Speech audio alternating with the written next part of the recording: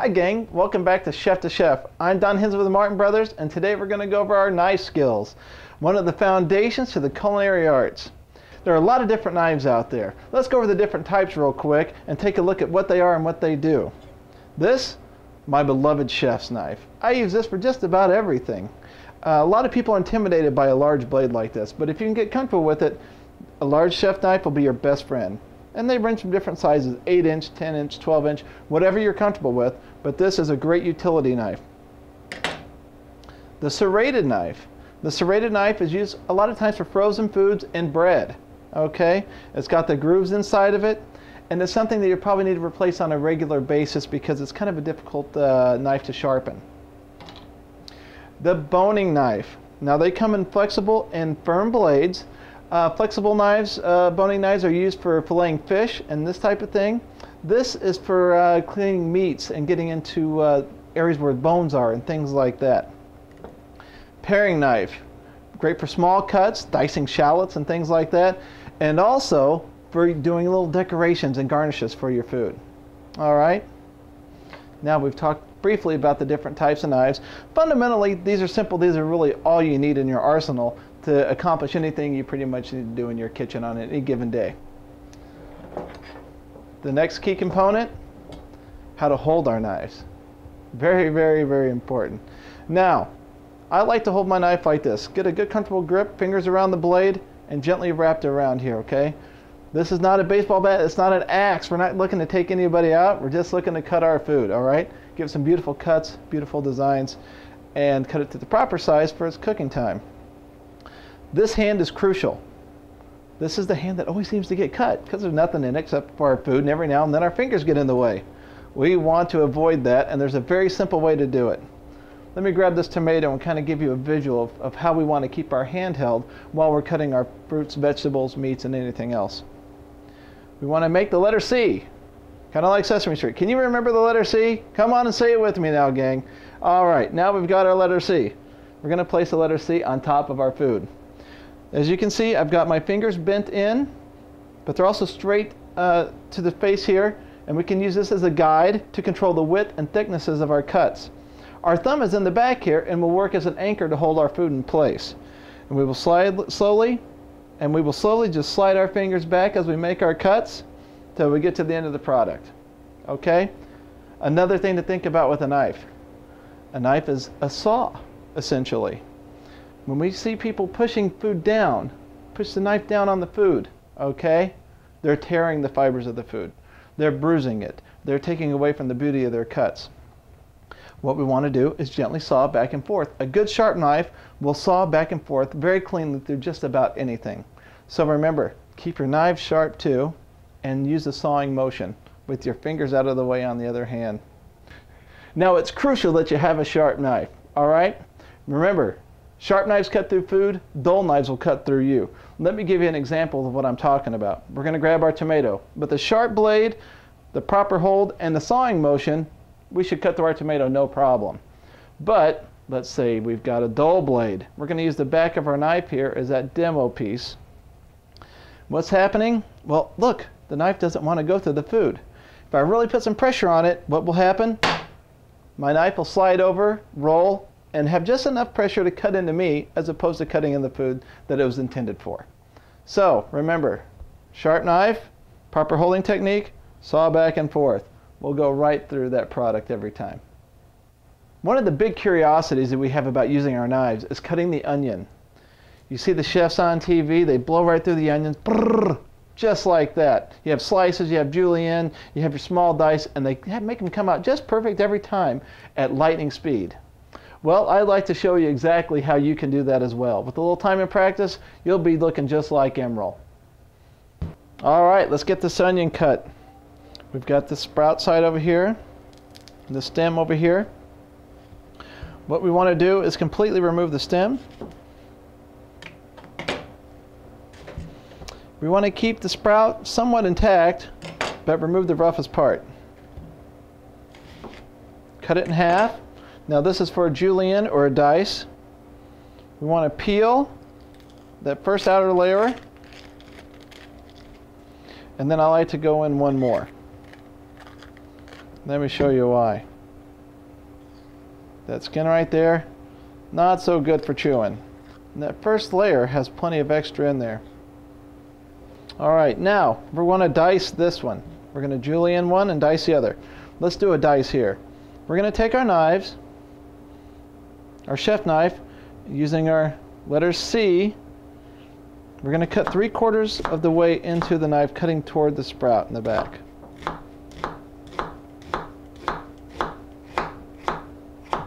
The reason we leave it intact in the back, so it doesn't slip and slide. If we were to cut this off, there would be nothing holding it all together. And we might get loose during cutting and slide and cut a finger. So that's what we want to avoid. It's already been cut across this way, naturally. So at this point, we just slide it this way and go for the cut. Quick, easy, efficient. Now we want to do our julienne cut. We'll go ahead and cut that sprout end off and cut all the way through. If you notice, I go back and forth. Okay, creating that sawing motion. Don't just press down. Once your onion gets to a certain point, it may become unstable. We don't want this to fall and get cut. So we'll roll it over and finish it up. Voila, quick and easy dice and julienne of onion. There are numerous styles of knife cuts out there, and it's imperative that you practice on a regular basis to become proficient at all of them. A great way to practice, grab a potato. You can practice your dice, your cube, your julienne, all kinds of different types of uh, knife cuts. You can practice on a potato. It's an inexpensive way to do it, and the texture of the potato really lends well to how the knife feels against most other foods. Let's go and show you a few examples. All right, let's take our potato that we're going to practice on to do some of our basic knife cuts. One of the things I like to do right away, again, we've got a good grip on our knife. We've got our letter C. We're going to anchor our food. Cut a safe base. Okay, now we won't be rocking and sliding back and forth. So let's cut some slices.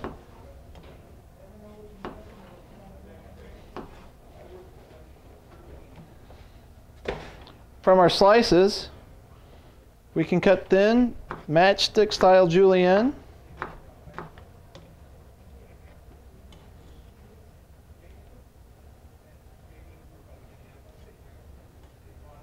We can cut a thick baton cut style julienne.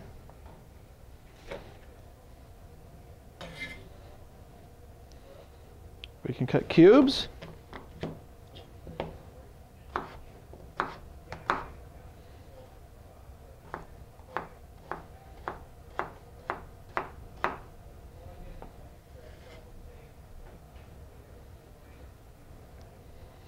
And then again, we'll cut some more slices because from those cuts, going into the julienne, we'll get our dice.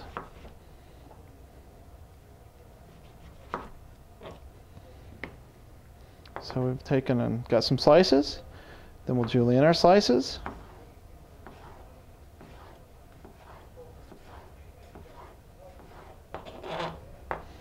And go back across and we have our dice. Petite versions of the cube cut. Now, not often will you have the need for a small cut potato, but again, this is to practice. You'll cut tomatoes, peppers, and things like that to make a nice small edible garnish to add to your plates. Hey, let's have a little bit of fun with our food right now. Got a Roma tomato here. You know it'd be kind of cute? We could carve this into a rose, put it on a plate. Can you imagine that coming to your table? The girl you're with, the special friend, that special occasion brought to another level because a tomato was cut into a rose. Wow, how exciting is that? Let me show you how to do that real quick. We're going to start, the stem is at the bottom, smooth piece at the top. We're going to take our paring knife, just gently shake it back and forth using our sawing motion. Cut that outer skin off. Let's follow the contour of the tomato.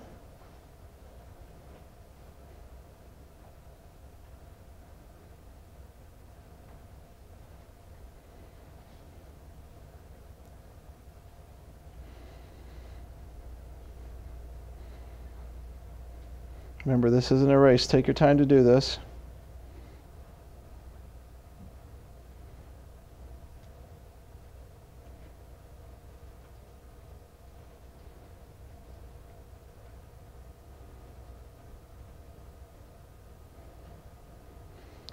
Cut around the bottom there. Save this for soup, salad, sauce.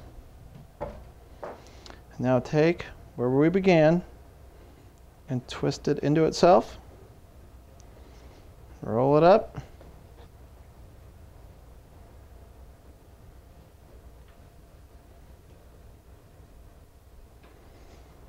And place this on the bottom, flip it over. You've got a beautiful little tomato rose.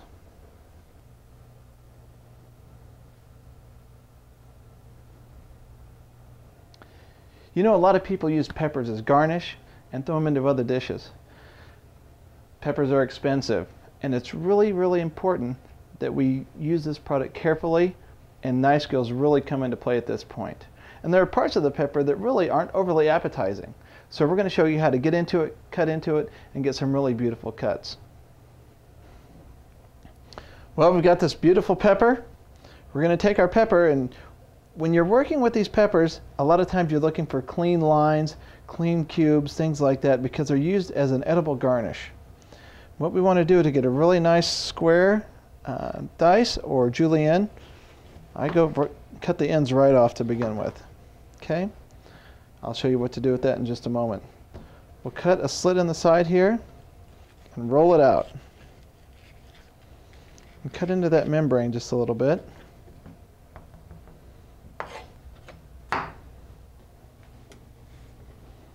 Cut that in half. Wipe down our table again so we have a clean surface to work off of. So now we've got this squared up slice here. Then I go in and I want to cut some of this membrane out of there. I just think it throws the color and the texture of the pepper off. Now you can dice this up and you can take this, throw it in some chicken stock, make a roasted pepper sauce or yellow pepper sauce or whatever color, flavor pepper you're doing, but save that as a base for some sauce, something that'll be pureed.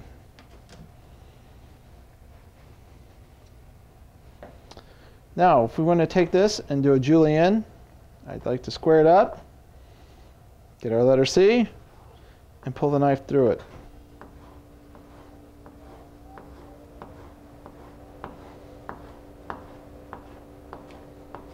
These are very nice little salad garnishes. Those strips could be put into the center of a piece of chicken and rolled up for roulade so you have some color and texture in there as well. And then if we want to dice them, which would make a great garnish for our salad here, same technique, cutting a julienne. About halfway through, we'll pull this away, and that sawing motion. Now this small cut is called the Brunoise cut. It's a quarter inch by quarter inch dice.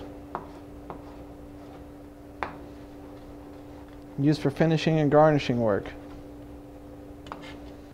You know, a great way to signature some of your items giving your vegetables a unique look and a unique cut. Let's go over the celery and show you how to put a bias cut to give you an Asian look, a square cut to give you more an American look. All right, now we're going to take our celery. We need to wash it. We're going to pull a few stems off and we'll show you a few different cuts. Okay, now that we've got our celery clean, let me show you a couple of the fun things we can do with it. A lot of times you see in Asian cooking, Asian restaurants, they use a long bias cut. And you get the idea of that's you know the Chinese style, Asian style, based on the way the vegetables are cut with the sharp points. And that's how you get that. You just set your celery down and cut across, getting points, sharp points on either end. And you get these beautiful long pointed kind of sticks, if you will. Now, for your classic uh, American dishes, you're going to see this in pot roast and things like that. We just go for the flat square cut. Based on your cooking time, you want to cut them larger or smaller. Larger for long cooking times, smaller for shorter cooking times. You know there are some tricky vegetables out there. The avocado is one of them. We want to make beautiful slices. Sometimes we're fighting with the outer skin. We're going to use our knife to come out with the perfect slice or to do a quick dice to cube it out and get it scooped out so we can make some great guacamole or avocado salad. Let's show you how to do that right now. All right, we're going to get into our paring knife here. We've got the avocado. Avocados go great on sandwiches, things like that. We're going to take our paring knife and cut around the seed. Twist it open. Look at that. Okay.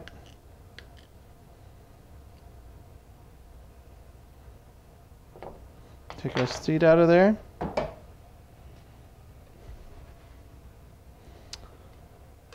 And if we want to have some really nice slices, what we will do is get a little cut on the end here and start to peel around our avocado. You need to make sure your avocados are ripe or they won't peel, or if they do peel, they'll fall apart in your hand. We seem to have lucked out and got a very nice one today. All right, avocado is also known as nature's butter because of its texture. So we want to get a nice avocado fan for a dish. Again, using our letter C. I like to use a small knife for this because everything here is, the avocado is so delicate.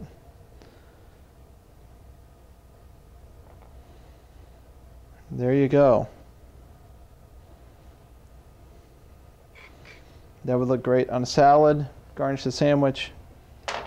Now, if we want to take and make some guacamole, some avocado salad, the easiest way to cut it would be to leave it inside the shell, cut lines, just following the outside, and then go back across.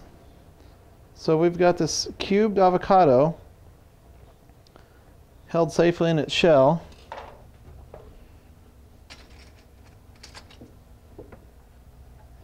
We just simply scoop it out, and it's diced and ready to go for us. Very, very quick, very convenient. Have you ever heard of an orange supreme? We're going to take and peel this orange, cut out just the meats of it, and make a beautiful edible garnish, something that would be great on dessert or in a salad. I've cut a safe base here. We're going to use our fillet knife, clean all the skin off, peel the outside,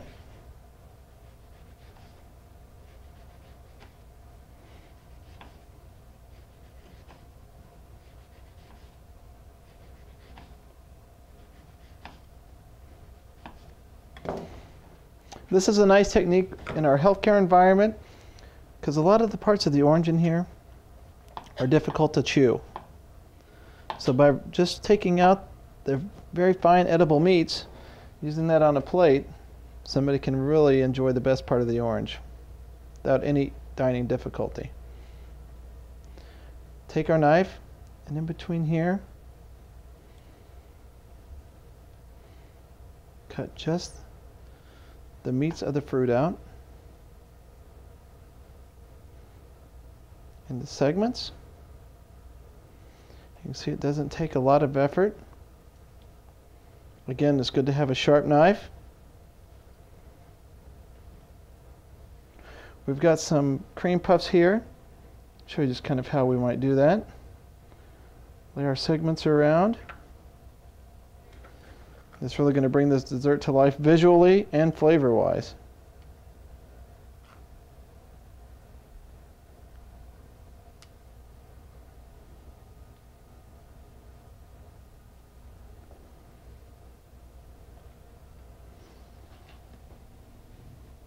Take and do a little drizzle, some white chocolate sauce. And we've just taken a few cream puffs and turned them into a really nice dessert, and we can charge a premium for them. One of the challenges we sometimes face is working with melons and things like that. I brought a cantaloupe today. We're going to show you how to peel out seven sides, take it out, pull out the insides, and do a really nice slicing technique for displays and breakfast buffets and things of that nature. We want to cut the ends off. And what we really want to try to do is get seven sides, seven equal sided sides. Get as close as you can. Get your knife into there and just follow the contour of the fruit. Sawing motion. Take your time.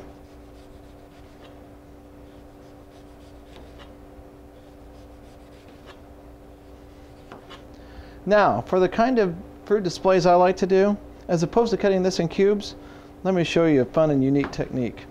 Going to cut that in half. We're going to pull the seeds out.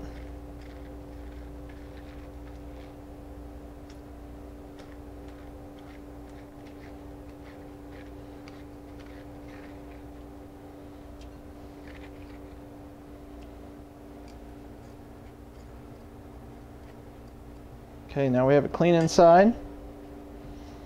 We're going to lay it flat.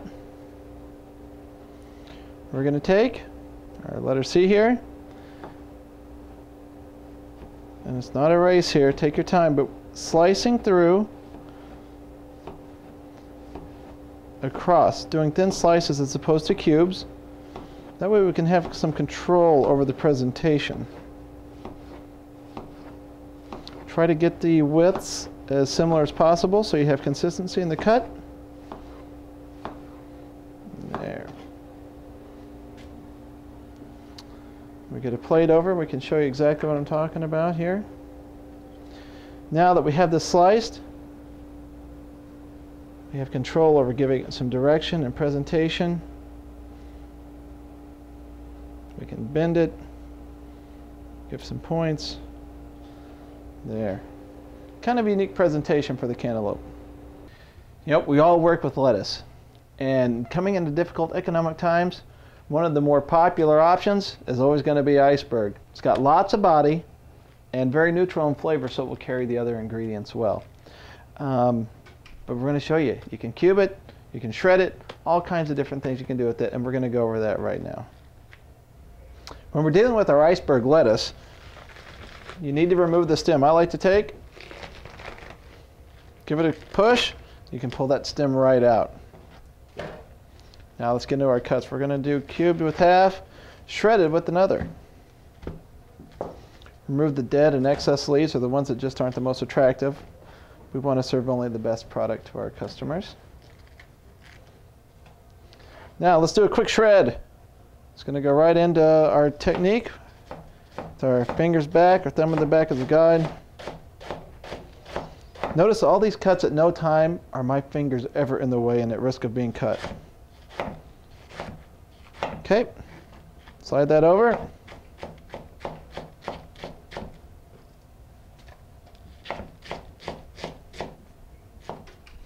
And we've got a nice shred. Now, when I'm shredding lettuce and things like that, I like to use a serrated because you can get a real nice grip with the blade and it'll cut very, very thin lines. Now, if we're going to make a big salad. We're going to make a chef salad or something of that nature. One, I want big chunks of lettuce. Okay. Kind of give it rough cubes. Don't cut it too small. And with our lettuce, we want it to be a little random too. So when we break it apart, it'll stack well. Hey gang, I thought we'd finish up by doing a small watermelon carving. I found a little watermelon. I thought we'd take our paring knife, give some fun cuts, something simple, something random, not too technical. Uh, you know, our staffs aren't trained to, to carve eagles and things out of this. Actually, neither am I. But there's some simple things we can do to have a little fun with this. Let's go and get started. We're going to need two knives for this, our chef's knife and our paring knife. This will get the rough cuts off, this for the more detailed work. Now again, we're going to keep this simple, but what we want to do, cut a base so we can stand it up. Then on a bias cut,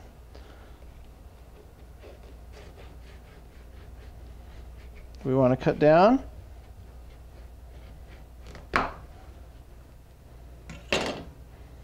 And so we have both halves available to work with. We'll cut another little face over here.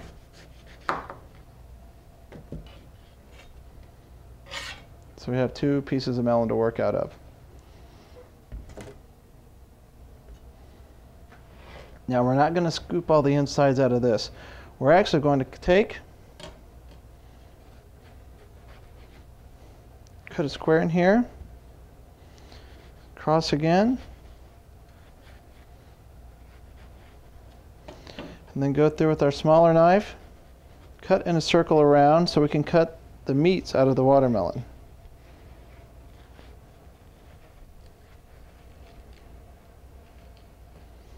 Let's come out in little cubes for us. And what we'll do is we'll just take this and put it right back into the watermelon after we've got it carved. It'll act as somewhat as a base for the edible portion.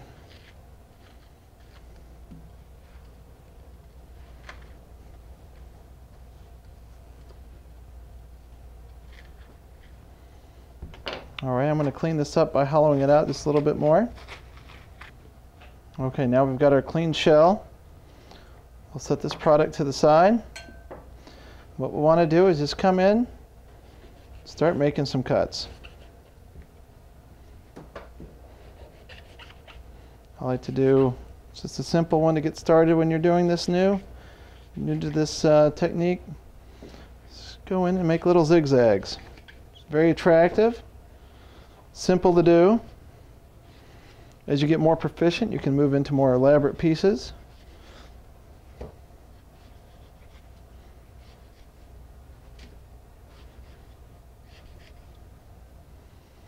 Okay. And we could use this as a centerpiece for a fruit display. Take and cut our uh, cubes just a little bit smaller.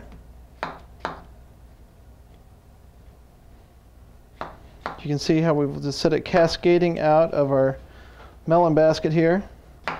Again, this is very simple, but you can go as elaborate as you want as you get more proficient.